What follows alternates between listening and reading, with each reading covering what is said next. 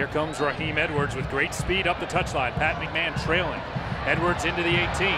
Edwards trying to get off a right-footed shot. He does, and he beats Mitch Hildebrandt in the fourth minute. Raheem Edwards brings it up the field and buries it in the back of the net. One thing too, if you, we talk about fullbacks getting forward, the opposite effect of that, obviously you leave a little bit of space behind. Pat McMahon did well getting up into support, uh, but in transition here you can see he's kind of driving into this space.